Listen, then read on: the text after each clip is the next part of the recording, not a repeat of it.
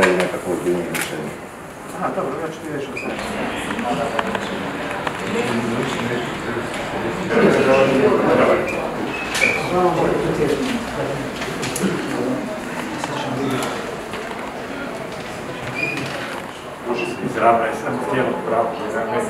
Sada kada su pristigli rezultati e, iz cijele Hrvatske, oni će se još ažurirati do kraja večeri, e, vidimo da smo uspjeli zaplaviti Hrvatsku, vidimo da je HDZ e, potvrdio status uvjerljivo vodeće hrvatske stranke i u petoj godini mandata. Kada analiziramo ovo što imamo informacije s terena, rezultate DIP-a, ove prve koji su izašli, već sada je jasno da će HDZ ili već pobjedio ili će imati vodeću, uvjerljivo vodeću poziciju pred drugi krug u najmanje 12 ili 13 županija.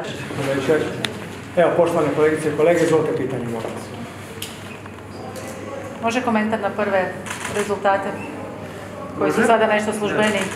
A sada smo vidjeli e, prve rezultate koji su došli od DIP-a i moram reći da smo izuzetno zadovoljni onim što smo vidjeli. E, od 20 županija, u 15 županija HDZ-ovi kandidati su na prvome mjestu, dakle u pet čak izgleda neće biti ni drugog kruga, a u ovih znači 10 naši kandidati će ući kao favoriti i kao pobjednici prvoga kruga.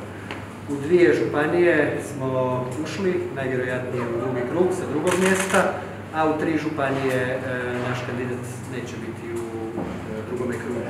Dakle, radi se o sjajnim rezultatima, ovi rezultati navješćuju da bi čak mogli biti bolji nego što su bili 2017. godine, tim više što i u svim važnim velikim gradovima koje smo imali 2017.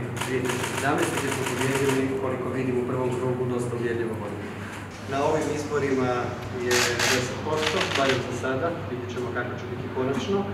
Što se tiče naše liste, e, prema zadnjem rezultatu tako za skupštinu, ona je na razini rezultata prije četiri godine, tako da ovdje se ne radi ni o kakvom debaklu, tim više što se naš kandidat još uvijek nada i voli drugi krug.